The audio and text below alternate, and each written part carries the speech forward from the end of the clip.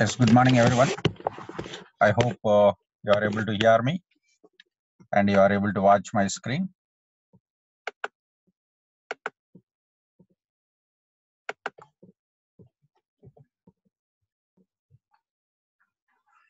Fine.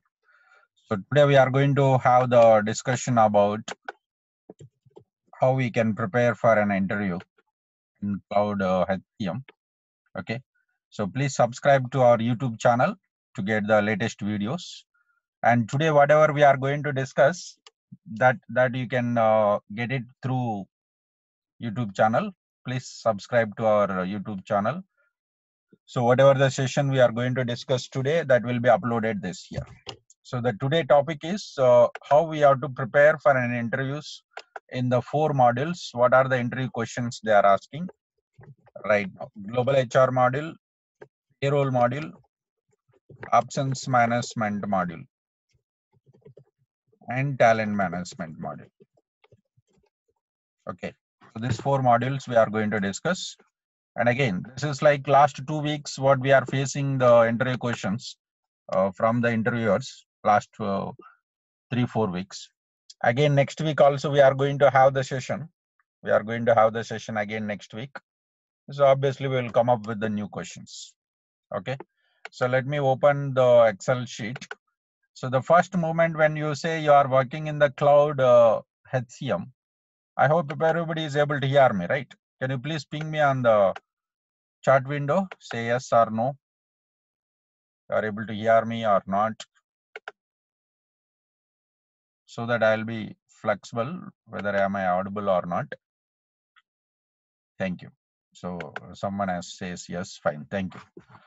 Fine, guys. Uh, the first thing they'll ask in the interview, okay, what you did in the global HR module. So you said you are working last three and a half years in the cloud, three or four years in the cloud. How many implementations you have done? So we can say that uh, the implementations uh, we have done around uh, three to four implementations. Each implementation generally takes around uh, uh, six months time. That is a very regular uh, process, six months time. And of course, we can say that uh, there was some support and uh, as well as the mm, you know uh, uh, time taking because sometimes what happened whenever we raise some uh, issues, SR service request to Oracle, it will be delayed. So due to that, also the project guidelines uh, deadlines will be delayed. So we can say, let's say three years of experience in our profile, around three to four projects, around three to four projects. Sometimes they ask you in the interview, like uh, what you have done last one year. Uh, why? Because four to six months is sufficient uh, to implement HCM SaaS model. So that time you can say that uh, we have done the implementation and also we are providing the support and also we are providing the support. That's what we can say. Fine. Next. So tell me which project you are working and uh, what you did in this project. What in the sense, what modules you have involved in the implementation. Let's say we involved in the global HR, payroll, absence management, and talent management. So that's what we said, for example. So when we say global HR, tell me what you did in the global HR. So we have to explain this entire process. So in global HR, uh, we have configured an enterprise structure and after that uh, we have configured an workforce structure. Workforce structure is nothing but jobs positions grades and business units and departments.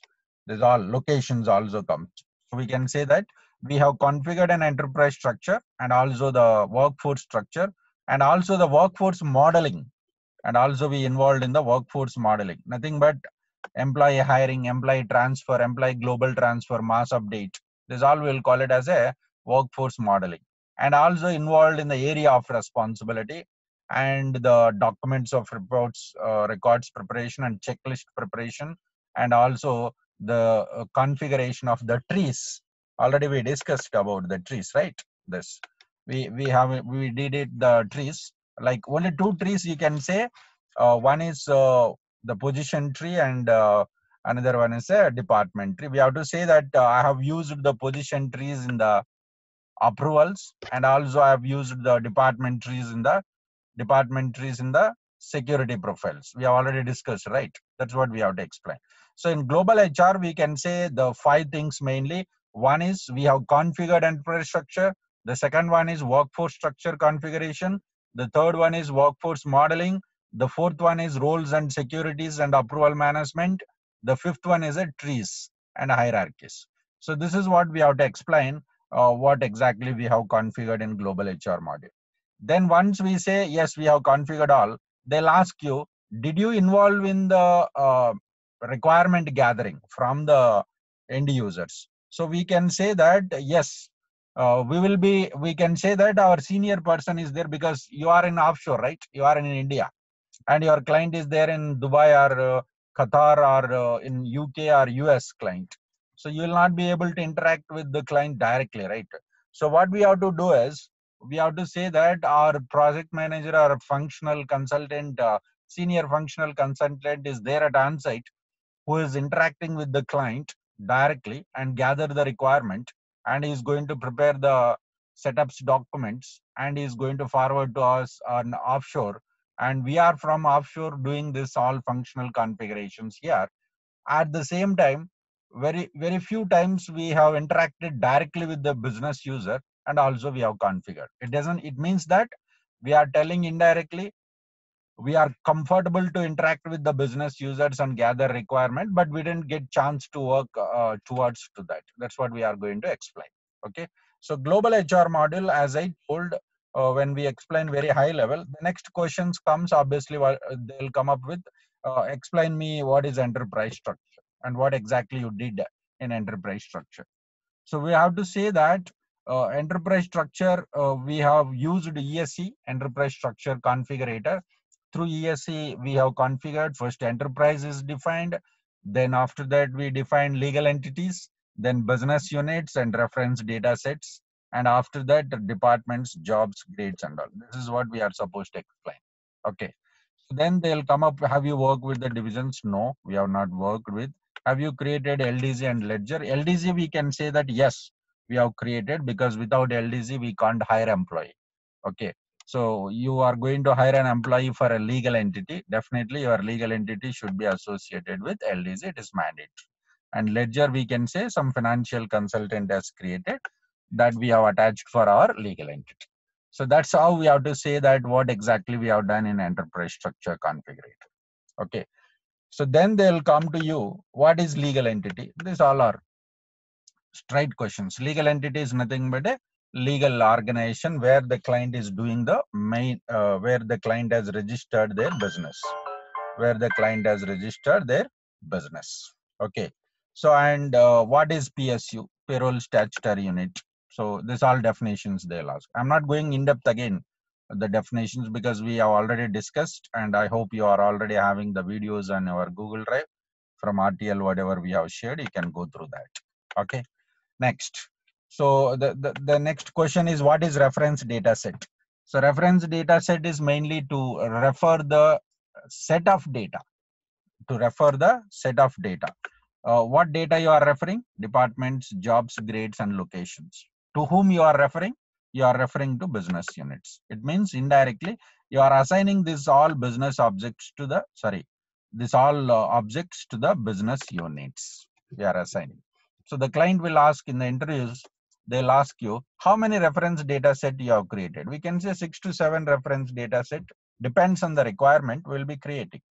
Depends on the requirement. For example if my client says these two branches are having different uh, departments these two branches are having different departments. Definitely i have to create one rds for this another rds for this. Maybe 10 20 30 it depends on your requirement. You are going to create the reference data set.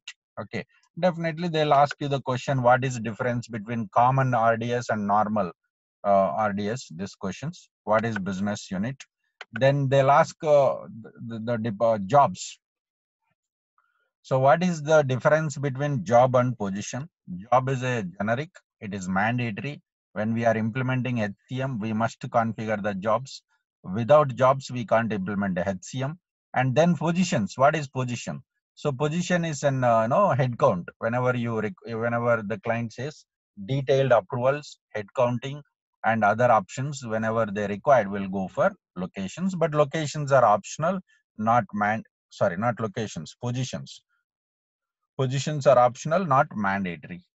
Okay. So we can say that we implemented both jobs and positions. Then how many types of positions are there?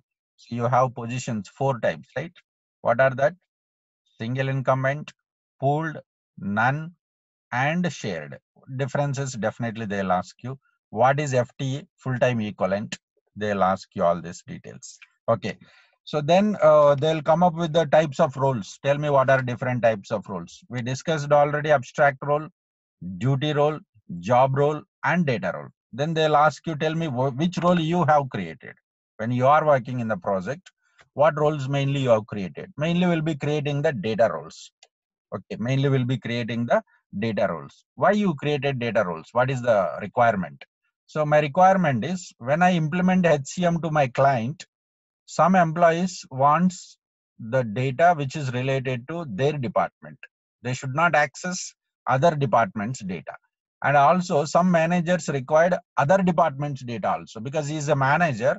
He wanted to access four to five departments data or two to three branches data. Branches means business unit or two to three countries data means one or two countries data so like that they would like to go ahead with accessing the multiple organizations data that's why we can say that we created a data role and we created security profiles. Then we have uh, we have assigned these data roles to the users. Then they'll come up with tell me how many security profiles are there. So how many security profiles are there? There are six types of security profiles. So you have to discuss with the client. Sorry, interviewer. Here, Oracle Fusion HCM security profile.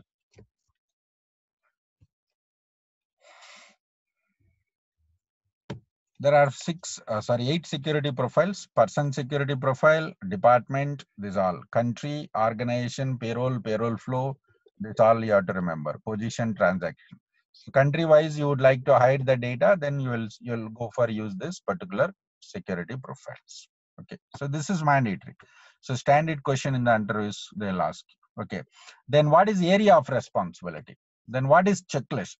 Then what is document of records? These all questions are important. These three questions are very important. Area of responsibility is mainly to assign the uh, particular area to the user. That's what they'll ask the question in the interviews. That I will prepare next level videos about especially these three concepts. Sorry, four. One is area of responsibility we'll call it as a AOR two document of records three checklist the fourth one is a position synchronization position synchronization these four videos i'll prepare and share it this okay next uh, in global hr other than that uh, mainly this task they'll ask you manage enterprise uh, hcm information here so tell me how many employment models are there two tier employment model and three tier so what is basic definition of employment model? So employment model is basically used to group the three components. The first component is work relationship. The second one is an assignment. The third one is employment terms.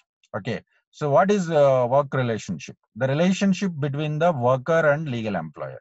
The relationship between the worker and legal employer. Then what is uh, uh, what is assignment assignment is nothing but a set of information which we are assigning to the employees set of information which we are assigning to the employees and it's going to be job position grade location manager office timings salary this all comes under assignment and the third one is a payment uh, employment terms i'm sorry like six months contract one year full time like this there will be some contracts here so this all we are going to have these options so this is about uh, the employment models. Definitely there will be a question. In latest version, release 13, uh, we will see only two-tier employment model suggested by Oracle. In two-tier employment model, how many versions are there? Like uh, the, the client, the interviewer will ask you how many versions we have in the two-tier employment model. So we can say that again uh, in two-tier employment model, single assignment, single assignment with contract, multiple assignment, multiple assignment with contract. Four, four versions are there. Earlier it was three, now it is four. The next question is what is difference between person number and worker number? so that they are going to ask us. So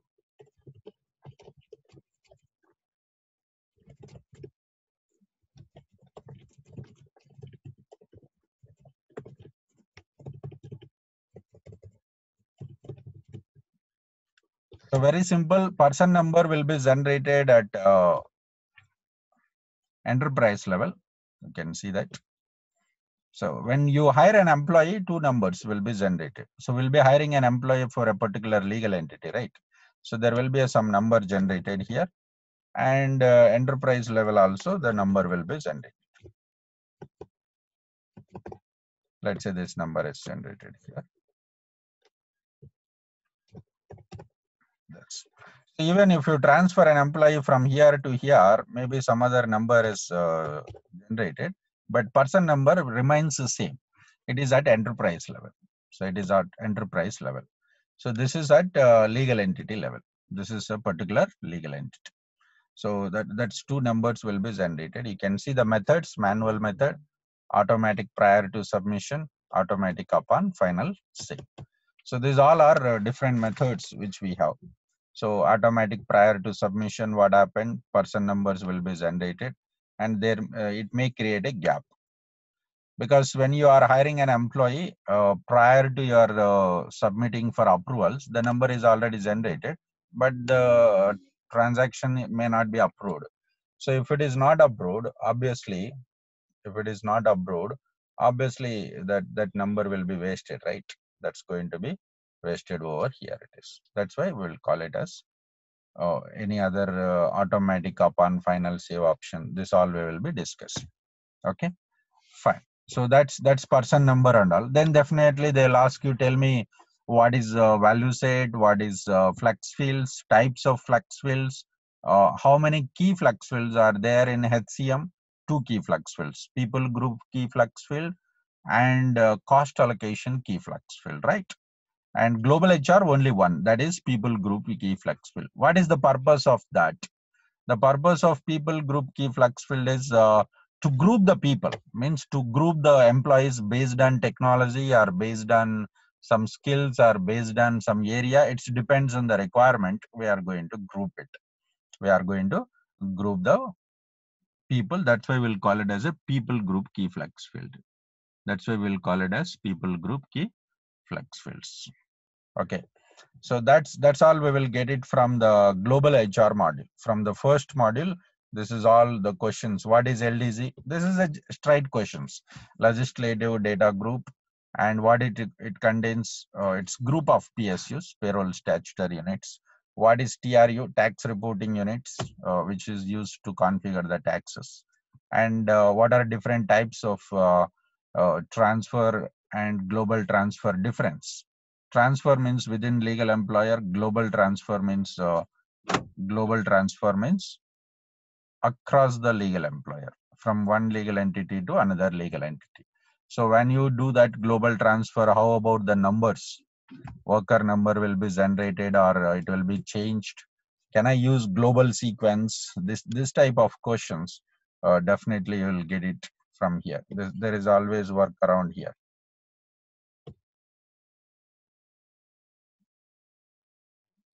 Fine, guys. Any doubts in the global HR? First module we have discussed. We have discussed first module. Any doubts you have? anybody please enter in the text window so you can see the difference between person numbers very important worker numbers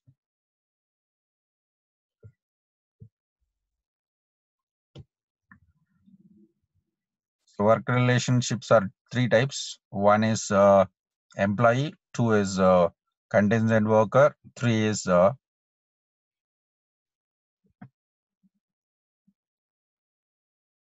Yes, Balakrishna, that is a number generated. See, my, I have my uh, company, Tata Enterprise. Within that, Tata Telecom, Tata Enterprises are there. Uh, Tata Telecom, Tata Motors, and all. So in telecom, we have hired one employee. Some number will be generated, but enterprise level, head office level, for big companies, it is required.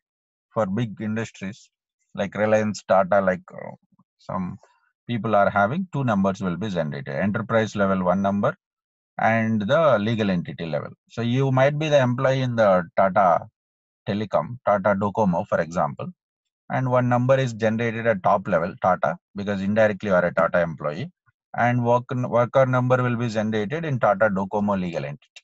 After some time, maybe the The employee will be resigned here and he has joined in Tata Motors.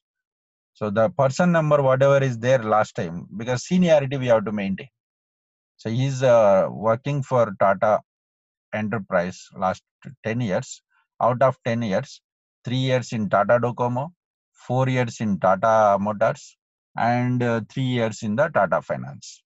Total uh, enterprise uh, seniority is 10 years, but current uh, Tata Finance is just three years only. So enterprise level seniority, company wise, company in the sense legal entity wise seniority we have to calculate for promotions or for any compensation or any for other things that will be used. That's why we will call it as this.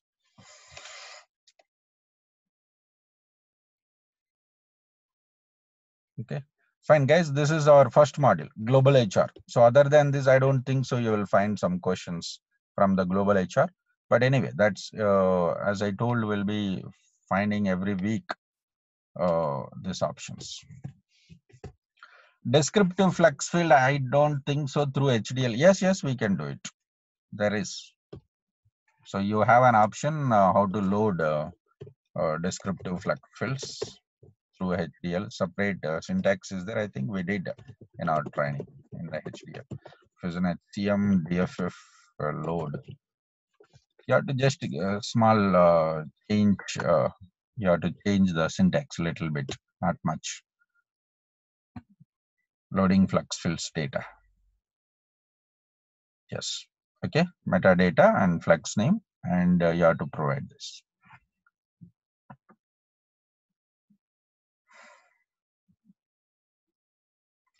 Fine.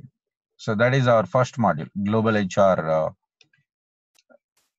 module. What questions they'll ask? Geographies, we can say that uh, it's already loaded into the applications. Whatever country you are implementing,